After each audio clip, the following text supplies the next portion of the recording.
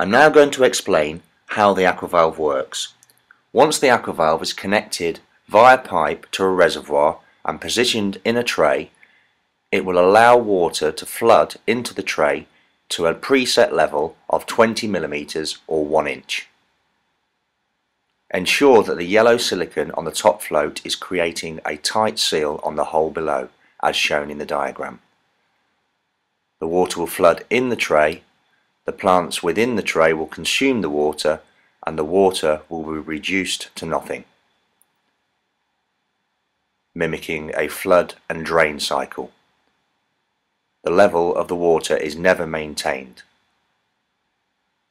The aqua aquavalve should be kept clean at all times and will work continually week after week, year after year. Maintaining your aquavalve is very simple and easy to do.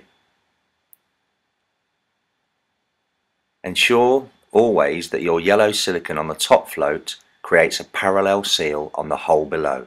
This will ensure that the aquavalve floods and drains correctly.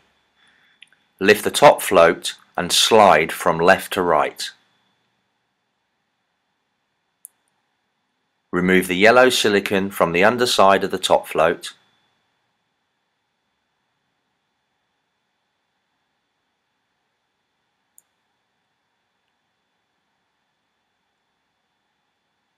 Remove the collar from the nozzle section of the aquavalve.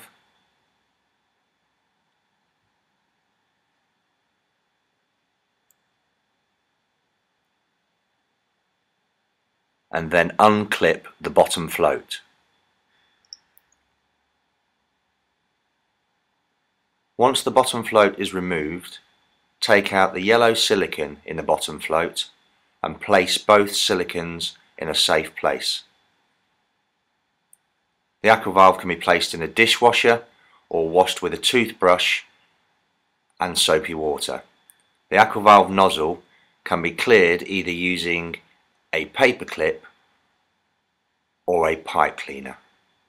Replace the yellow silicon in the bottom float and clip back in position as shown. Then take the aquavalve collar and replace onto the threaded section. Whenever attaching pipe, never over tighten the collar. When you feel it grip, stop.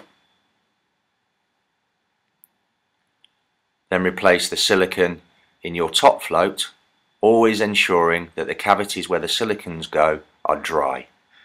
Then take your top float and slide from right to left attaching it to the main body of the aqua valve. Never try and clip it into the top float or you will break it, always from right to left. Your aquavalve is now assembled. Ensure that the yellow silicon in the top float is creating a parallel seal on the hole below. This will ensure that the aquavalve floods and drains correctly. Keep your aquavalve clean and it will work year in, year out.